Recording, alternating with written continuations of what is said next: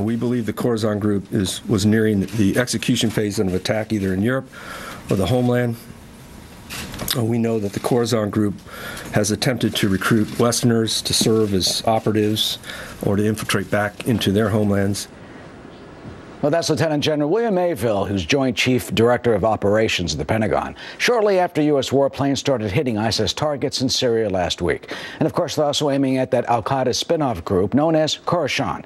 Well, our next guest says that he sounded the alarm about those terrorists six months ago, long before the public learned about the Khorasan terror group and what officials say is their imminent plan to attack us. Tom Joscelyn, Senior Fellow at the Foundation for Defense of Democracies, joins us. So, Tom, why should we be so worried right now about the Khorasan group? Well, everybody's been thrown for a loop by this name, the Khorasan Group, but really all it is is Al Qaeda. It's just it's Al Qaeda, the same organization that struck us on 9/11.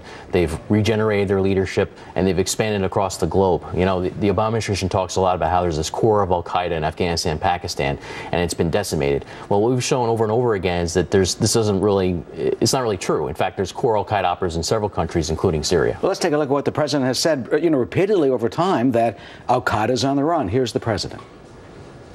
Al Qaeda is on the path to defeat, and bin Laden is dead. Al Qaeda's on its heels, and Osama bin Laden is dead. Al Qaeda's on the run. Osama bin Laden is dead. Al Qaeda's on the run. I'll tell you where they ran to. They ran to Syria. Well, I mean, basically what happened is that the senior leadership of Al Qaeda decided Syria was an optimal launching pad for these planned attacks against the West. And so they relocated a lot of their talented operatives there over the last two years. And so basically they're not really on the run. They've just been reestablishing their bases elsewhere. Now, of course, the intelligence community has been following them for, for a couple of years. How come they only made it public now with those airstrikes that surprised everybody?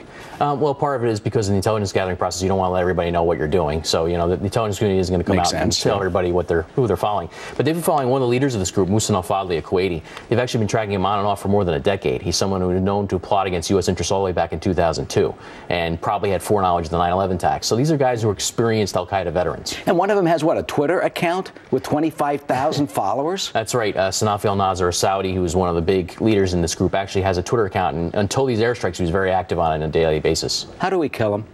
Uh, well, these guys, it's going to come down to intelligence about their whereabouts. But they essentially knew that we were coming because if you remember, there were some press reports that came out the week before these, these airstrikes, basically saying this Khorasan group was something we needed to target. I think that tipped them off and gave them the head start to get out of town. And finally, do you think that it, it was effective? Um, the airstrikes? Yeah. I think the airstrikes were partially effective. I don't think they solved the problem overall. All right, problem not solved, partially effective. The terror threat continues. Tom Joscelyn, thank you for joining us. Thank you.